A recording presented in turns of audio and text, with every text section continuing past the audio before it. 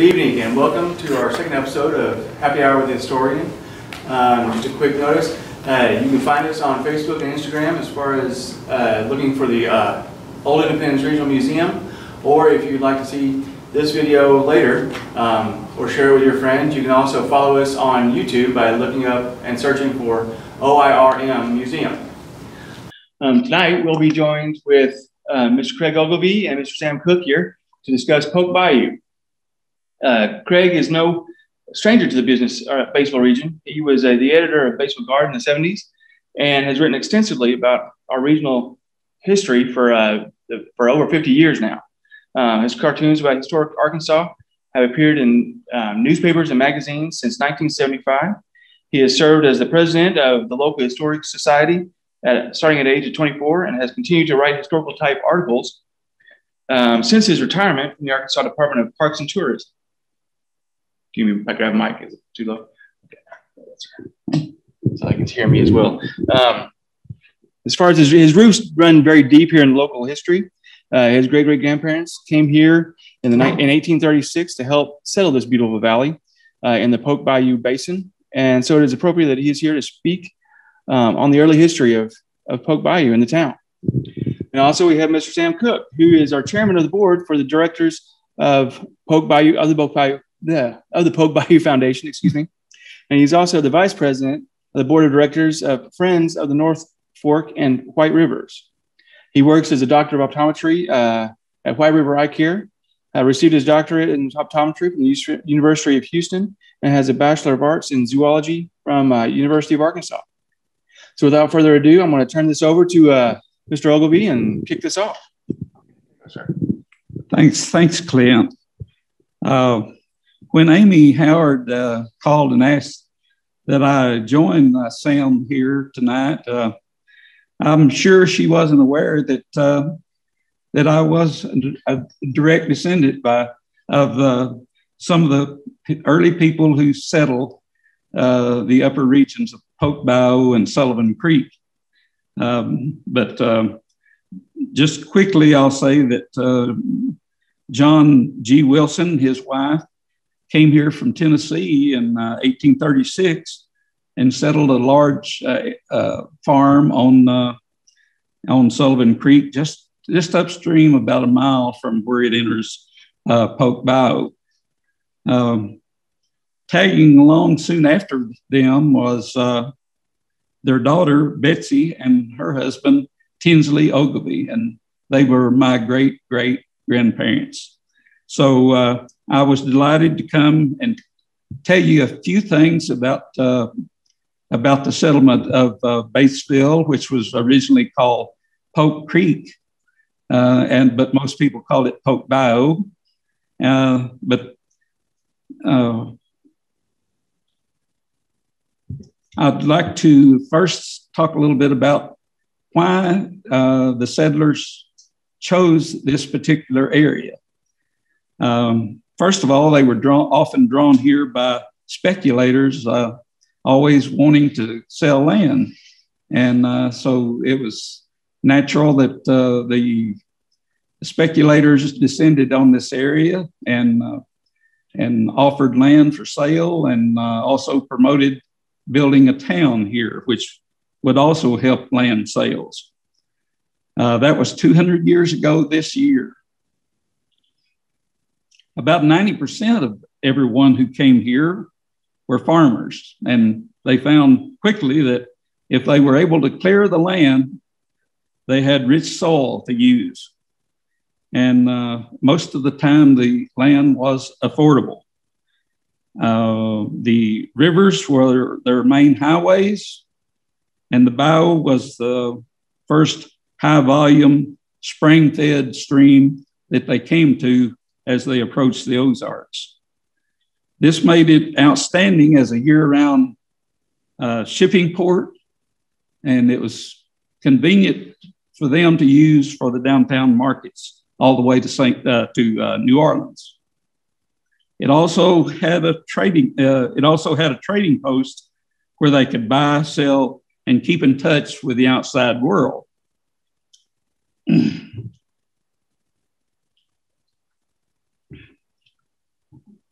the first shopkeepers or trading post people, merchants, to set up business here did not keep diaries for us so that we could easily find out what they were all about. But they did keep in contact with their relatives and business associates in other cities up north. And uh, a lot of their papers and letters have been preserved even to this day. And that's a way that we get a glimpse into the very early days of Poke Bayou, the town. And they also tell us that the raw frontier here was not quite as rough and tough as you might think. For instance, on June 1st, 1815, Christian Wilt in St. Louis wrote his partner, John C. Luttig, at Poke Bayou that he was shipping him more goods to sell at his store. In addition to gunpowder and beaver traps and cooking pots, and maybe some farm tools. Mr. Wilt sent a stock of fine silk, which he was, which he told his partner to sell for four dollars a yard. Now, four dollars a yard in uh, 1815 was quite a sum, and it's amazing that they had people here at that time that could afford four dollar a yard silk. Judging from that alone, perhaps Bayou was not quite uh, the uncivilized town that we might think of uh, today. the trading post of Wilt and Luttig was not the first to be located here. There's a record that John Reed, a man named John Reed, was operating a post here by 1812. And it was his place that I uh, attempted to capture in a painting that appeared on the Independence County Chronicle uh, in January of 2020. The little village uh, got a post office on November the 7th, 1820. But an error in the paperwork made it come out Poke Creek. But all the mail addressed to Poke Bayou made its way uh, here just fine. No one cared enough to try to change the name of the mistake, so it remained Poke Creek until officially changed to Batesville on January the 7th, 1824. Actually, the most mail received, most of the mail received here after 1821 was addressed to Batesville, even though the name had not been changed at that time. The flatlands along the rivers were covered with hardwood trees, cane brakes so thick that a human could not squeeze through it unless you could find a buffalo track uh, trail or a, or a bear path. That was the only way you could penetrate the cane brakes. Uh, likewise, was lined with thick cane, 15 feet tall, all the way up to the hill country. Stands of trees were scattered only here and there. And down where the bayou meets the river was a massive stand of pokeweed, hmm. which attracted thousands of birds every year when the berries were in season. The pokeweed became a landmark for river travelers, and they soon started calling the creek Poke Bayou. Now I wish to preach just a moment about the little controversy over POKE and POLK. Anyone who studies local history will learn that it no doubt was originally called, uh, spelled P O K E. I only wish that the stream had been named Pokeweed Creek or Pokeweed Weed Bayou so that there would be no doubt in anyone's mind. The spelling P O L K was inadvertently written into one or two reports and even on one US map uh, back in the early 1800s. Sadly, it was also spelled P O L K on a bronze plaque that's set into the concrete of the 1930 bow Bridge down on Central Avenue. We're not sure who was responsible for getting it spelled P O L K, but it's there. And not long ago, a big feature article in the Arkansas Democrat Gazette splashed P O L K Bayou throughout an article. Very nice article, but they misspelled P O K E. uh, afterwards, our own Chamber of Commerce sadly started calling it P O L K Bayou on its own website. I uh, called and complained about this, and they they did go in and put also uh, after POLK they put also known as POKE. Recorded history and maps back to 1814 clearly state that the is POKE, and we have no reason or authority to change it now. So by 1814, Poke Bayou was a leading center that catered mostly to trappers by swapping fur pelts and bear oil for gunpowder and whiskey. Uh, you'll notice that even on the Arkansas Traveler, the official painting down at the History Commission in Little Rock, that they had a little wooden sign above the door advertising whiskey. And it was true that it was a popular trade item that was brought up river and uh, traded for furs. Slowly, one or two families at a time, the population of, uh, of this area started to grow. When Schoolcraft passed through in 1819, on his way home after exploring the upper reaches, reaches of the White River,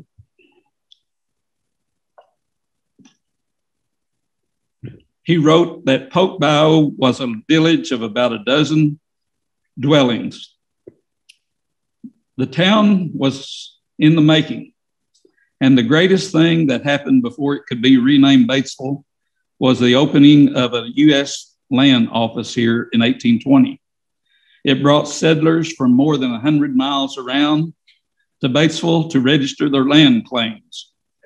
Less than a year after, the new town was dedicated in 1821. The lower end of Main Street flooded four feet into the stores on Lower Main. The old trappers had warned that it would happen. They had been here through floods and they warned the people that was building stores down there that it would flood, but they didn't listen. The slow movement of the business district then started for higher ground to avoid the flooding. As stores were flooded or burned, they were often rebuilt on higher ground up the main street.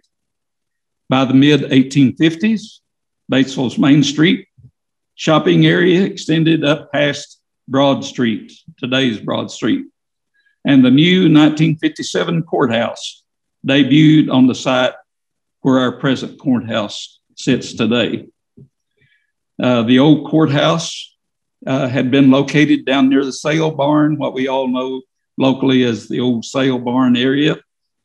And there was not a single picture made, as far as we know, of that building. And it's so it's so frustrating that it stood for many years after uh, after the uh, courthouse was moved, the building remained on site. But anyway, Bayou, the stream, played an, a role in virtually every important advancement in our early history, and it will continue to do so if the people will save and protect this natural resource. This is only a small glance at the first 40 years of our local history for more information, I'd suggest that you get find an edition up up from the river, and it uh, the early the first part of that is devoted to the very things that I talked about here this evening, and that's all I have for right now. Uh, Sam Cooke is here to tell us uh, more about the geology and the makeup of, of the stream that uh, we that I have come to love because of many reasons. But uh, uh, thanks, Sam, and sure. Thank you. you. Thank you, Craig.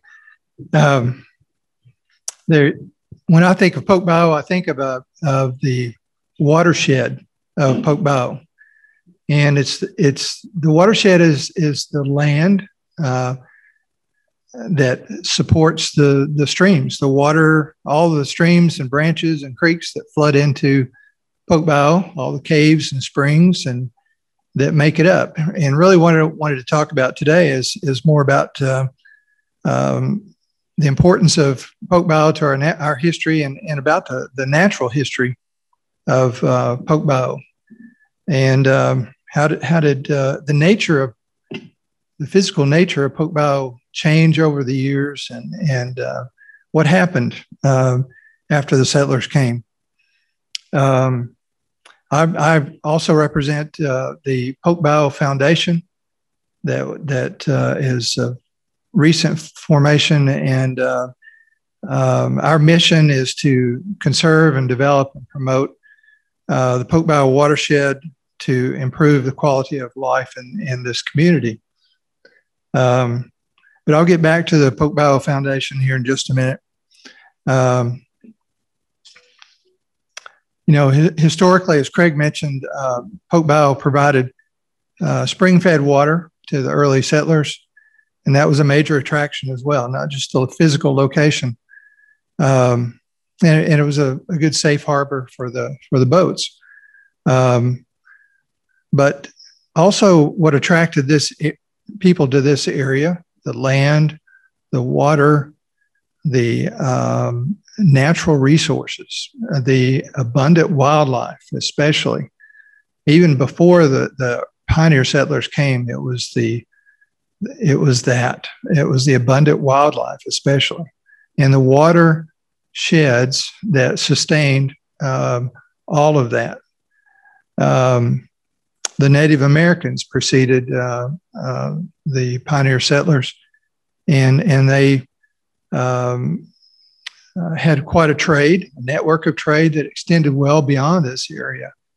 So they traded among themselves, and and uh, then when the settler, the French uh, explorers came and the traders came, it was natural that they would interact with the uh, Native Americans, and they the Native Americans, the Osage tribe, uh, pretty much dominated the um, Ozark region, uh, especially that this was their hunting grounds.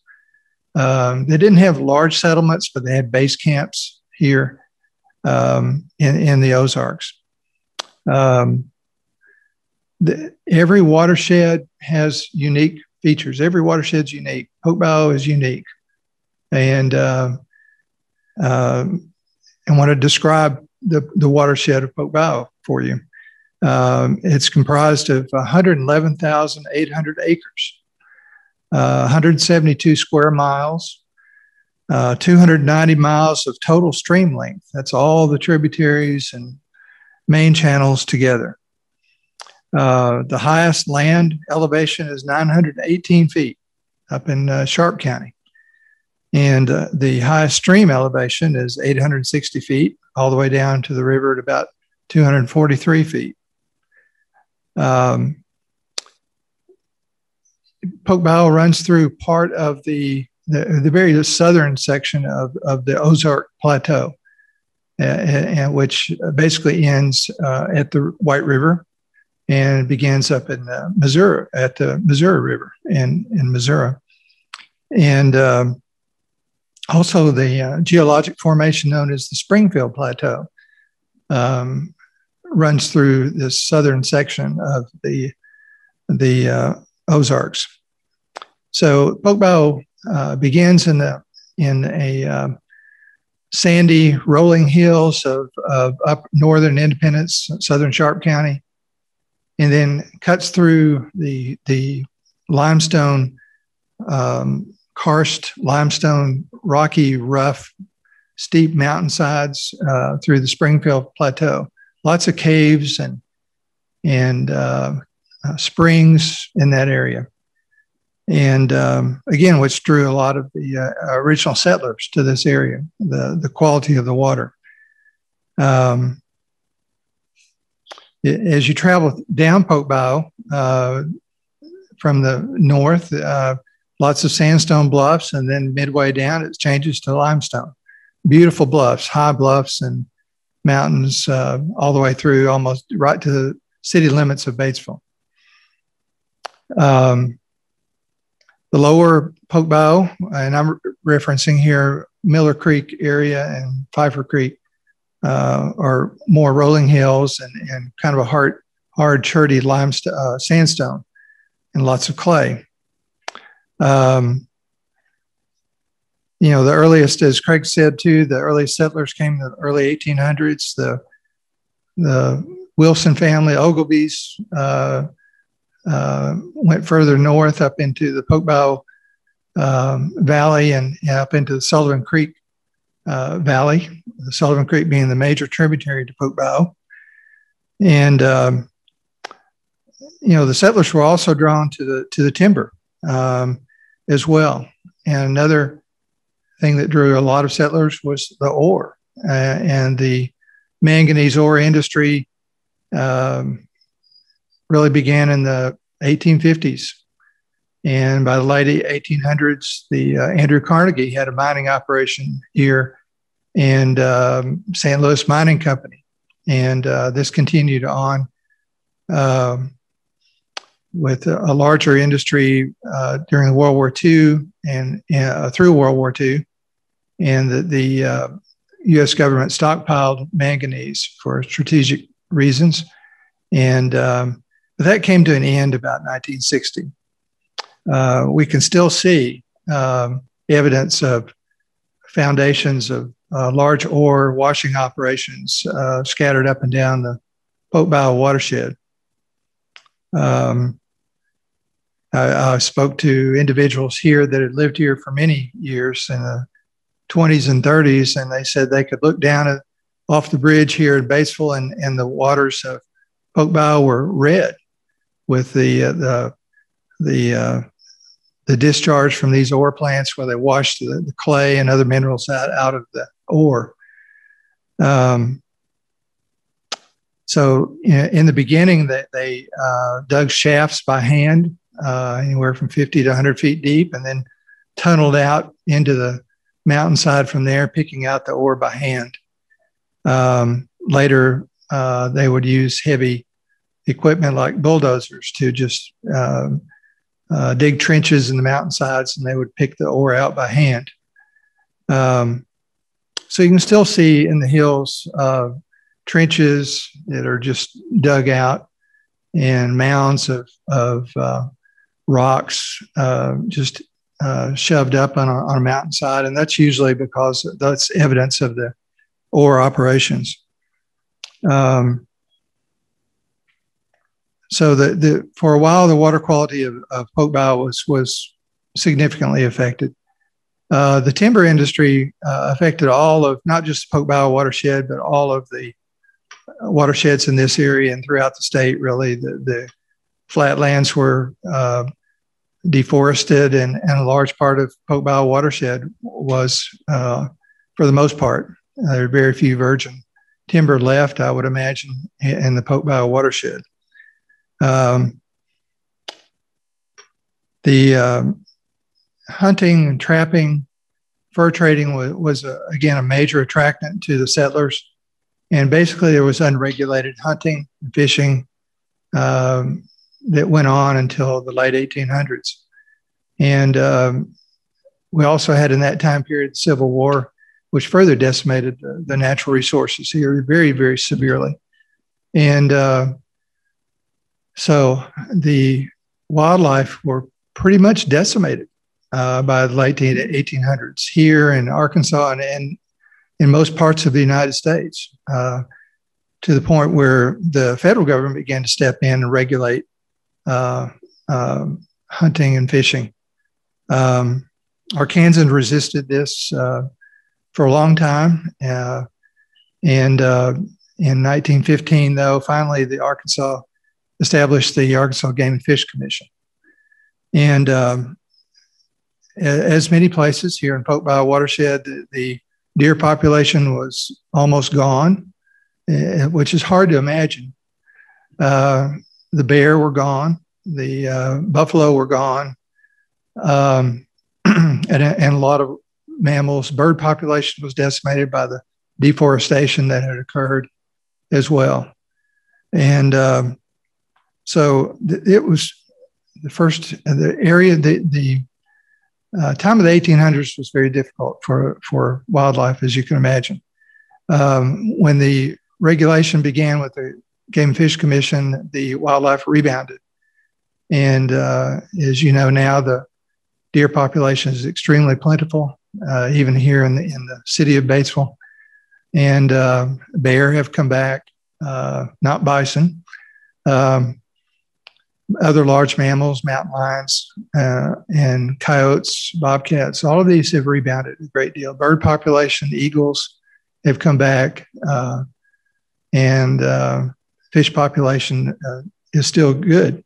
Uh, the water quality has rebounded uh, in Poke Bayou, and in large part to better um, management of the land over the years. Um,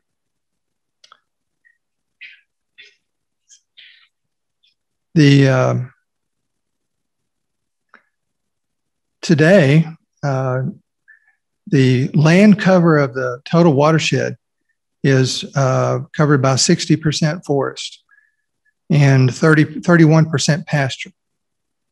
The, these are figures taken from the, our own U.S. Geological Survey. And, uh, but there is still a fairly heavy deforestation in the upper and, and the lower third of the Bayou watershed. In the middle part, uh, it's heavily forested, and that's mainly because the the the mountains are so heavily um, karsted and uh, fractured limestone.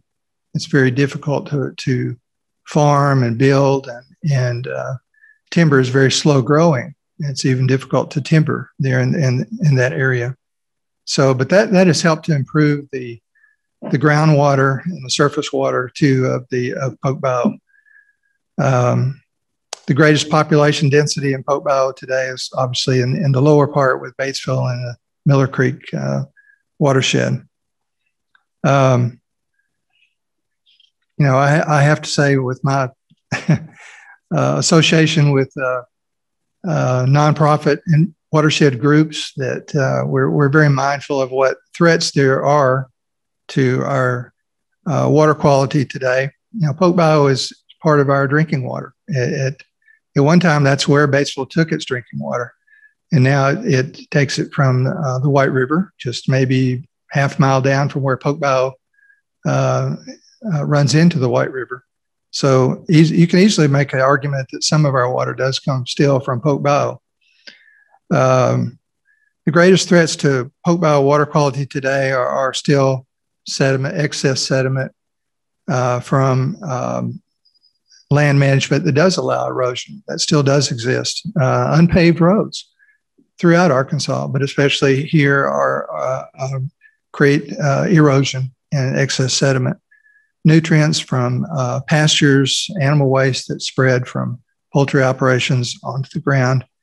Um, and um, also chemical pollutants from our own stormwater drains uh, from our roads, fuels, oils, uh, other chemicals that, that uh, may wash into our stormwaters.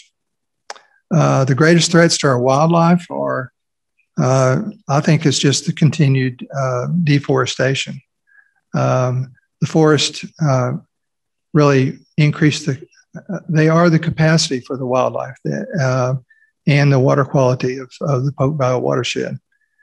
Um, so that hopefully will give you a picture of the, of the it's a very brief picture of the natural history of, of Poke. Um, and um, I, have spent a lot of time on Poke myself. Uh, I was friends with Stephen Wilson, uh, our late great uh, Arkansas Game and Fish director, who grew up here in Batesville And like a lot of us that have lived here for a long time, Steve uh, had his first canoeing, camping, fishing experiences on on Poke Bayou, and that's where his love for the the uh, great outdoors began. Um, and today I'm, uh, as I mentioned, uh, representing the Poke Bayou Foundation, and um, and we incorporated in May of 2020, and we're our nonprofit status is pending. Um, but we're comprised of, of mainly just a, a, board membership of up to 15 people. We have representatives from the city and the colleges and uh, other institutions here, the chamber. But these are people that are very enthusiastic about the history of Batesville and the, the uh, the conservation of, of the Poke Bayou watershed, especially in the, in this uh, lower stretch here. Uh, we we have some um, projects now that we have begun in earnest. Um, one of which is a uh, uh, a trail, uh, be a, a pedestrian trail that would extend from basically White Drive Bridge down to White River Bridge about a four mile stretch. And this is a very large project. And, um, and um, the, it has begun in earnest, as I said, that we'll be seeking grants soon for the lower sections of the trail, which will go through historic downtown Batesville. And um, um, we've had donations of land uh, as well. The Barnett family has donated land uh, at the uh, just upstream from the uh, Golden Overpass. Um, we look for uh, small craft accesses to be built. Uh, we're seeking help from different uh, agencies, state agencies, to to do this, and uh, um, we'll be seeking funds someday for matching matching funds for these grants. So we hope to have accesses better accesses on the upper stretch at White Drive Bridge as well as downtown and, and near the confluence of the White River. Um, we've had we've had a cleanup project. We started one last year, but a lot of people have had cleanup projects on Poke Bayou. We're extremely grateful for those people that do volunteer for for uh, cleaning up uh, Poke Bayou. The Scouts have been extremely active in, in doing these every year uh, different uh, church groups, student groups, Lyon College student groups have been very active in helping to clean up Poke Bayou. And that's an, that is an ongoing project. We'll be having um, some of those again this year. Um, we've, we've also, um, we're also fostering stream teams. That's an official name given by the Arkansas Game and Fish Commission. These are teams which are registered with the Arkansas Game and Fish Commission. And uh, these are volunteer teams um, that are monitoring water quality. They may be cleaning up, having, uh, having cleanup projects or stream bank restora- restoration projects. Um, the West Elementary uh, students have for years I had a stream team and they lead the way in monitoring the water quality of, of this lower section of Poke Bayou. Um, now the game fish will allow us to enter, send data to them by the computer, and, and this is a live time uh, database that's available for, for us to see. Um, they have given us um, a grant for a um, chemistry analysis to be done. And uh, Lyon College will be also having a stream team. Uh, the Batesville High School East uh, students will have a stream team, and then and then even another adult stream team will be formed uh, soon. So uh, we invite uh, anybody that wants to volunteer with any of our projects to to please notify us and, and let us know that you're available. Um, we, we look at the, the erosion that may be occurring with Poke Bayou. We, we've had a biologist survey the stream bank conditions and identify certain areas that are problematic. And, and so we, ha- we hope to take corrective measures uh, for those stream banks at some point in the future. Uh, so that's that's kind of a a brief explanation of what we're doing with with Poke Bayou. We, you know, as as we uh, build trails, we also want to connect the history of Batesville uh, along the way uh, and and conserve the uh, watershed at the same time. Gentlemen, we do have a couple of questions for you. Um, uh, I guess I would like to go in order, but uh, there was one that kind of pertained to trails and stuff. We had a question about what about a bike trail? Is there a plans for bike trail? Well, that would be a combination pedestrian and bike trail that I, that I spoke of. Yeah. Okay. And Batesville has a master plan of trails, and and that trail would hopefully someday interconnect with the other trails that that the city is planning. The other question was, um, is the location of the original posts known? Uh, no, it's in fact, it's probably uh, not even on land at this time. It's it could be anywhere. It could even be underneath the current location of the bow where it enters the river.